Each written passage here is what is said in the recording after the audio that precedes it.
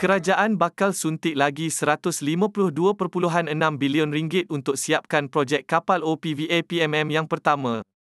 Kerajaan terpaksa mengambil alih projek pembinaan kapal peronda untuk agensi penguatkuasaan maritim Malaysia daripada syarikat Terdestini Sendirian Berhad selepas menemui beberapa isu besar berkenaan dengan projek terbabit. Perdana Menteri dan Menteri Kewangan Datuk Seri Anwar Ibrahim berkata kerajaan meluluskan suntikan pinjaman 152.6 bilion ringgit bagi membolehkan pembinaan kapal peronda luar pesisir pertama OPV-1 dapat disiapkan dan diserahkan kepada APMM di dalam tempoh setahun. Langkah itu terpaksa dilakukan bagi menyiapkan projek berkenaan.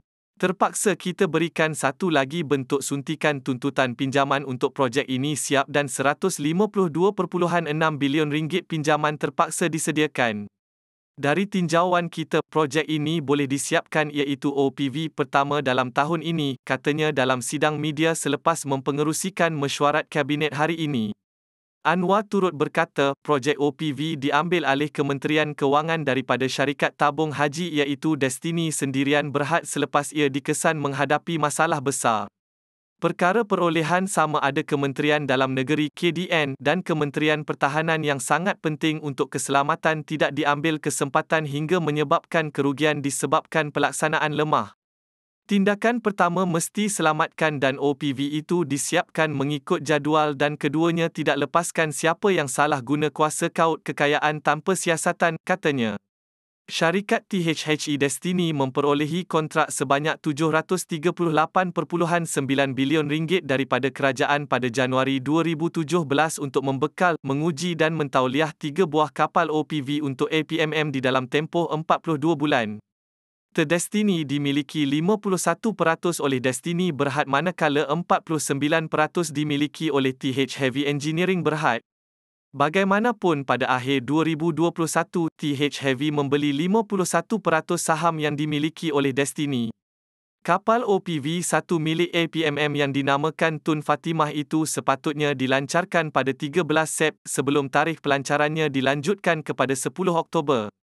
Kapal maritim Tun Fatimah itu dijangka akan beroperasi di kawasan perairan sekitar Beting Patinggi Ali di perairan Sarawak yang kerap dicerobohi oleh kapal-kapal peronda China.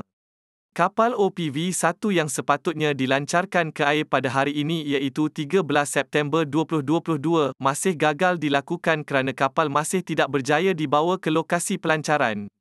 Berikutan itu syarikat berkenaan akan mengubah cara pelancaran iaitu daripada launching cradle kepada sistem pelancaran air dan ia dijangka direalisasikan pada 10 Oktober ini, kata Ketua Pengarah Maritim Malaysia Laksamana Maritim Datuk Muhammad Zubil Mat Som dalam kenyataan pada September tahun lepas.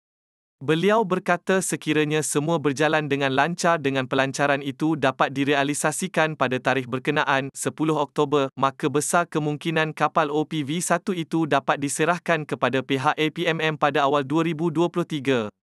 Ketiga-tiga buah kapal peronda pesisir pantai itu berukuran 83 meter panjang dengan 13.7 meter lebar dan berkemampuan melakukan pengawasan jarak jauh sehingga ke kawasan zon ekonomi eksklusif Z serta kawasan di luar jangkauan kapal-kapal kecil.